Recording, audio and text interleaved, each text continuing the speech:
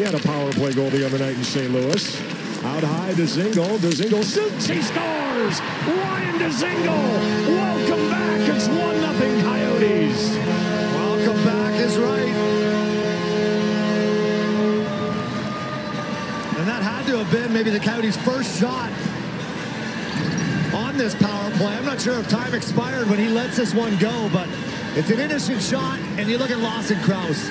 Lawson Crouse is right in front, and then he pops off to the side, and that eludes the glove, and he puts it top cheese. The left part of the net, and the Coyotes again up one nothing, and that is huge. That